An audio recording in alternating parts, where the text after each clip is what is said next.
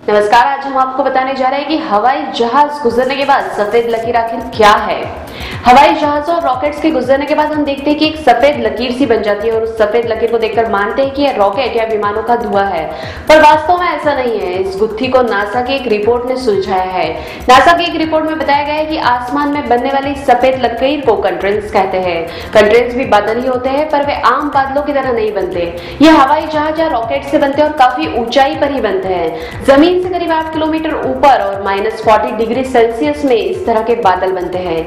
इनके बनने की प्रक्रिया यह है कि हवाई जहाज़ या रॉकेट के एग्जॉस्ट से एरोसोल्स निकलता है, यानी एक तरह का धुआँ निकलता है। जब आसमान की नमी इस एरोसोल्स के साथ जम जाती है तो यह कंट्रेल्स के रूप में सामने आती है। कंट्रेल्स सबसे पहले दूसरे विश्व युद्ध के दौरान उन्नीस में देखे गए थे। ये कंट्रेल्स कुछ ही समय में गायब भी हो जाते हैं, जैसे ही विमान आगे जाता है, ये कुछ समय बाद लुप्त हो जाते हैं। ये कंट्रेल्स लंबी लाइन होती है जो आसमान में विमान के बाद दिखाई देती है। इनके बनने का कारण हवा में नमी और एरोसोल्स होता है। कंट्रेल्स दो शब्दों से मिलकर बनाया गया शब्द है जिन्हें कंडेंसेशन ट्रेल्स भी कहा जाता है। तो अगर अभी तक आप इस सफ़ेद लकीर को धुआँ मानते थे तो जान लें कि धुआँ नहीं बादल है।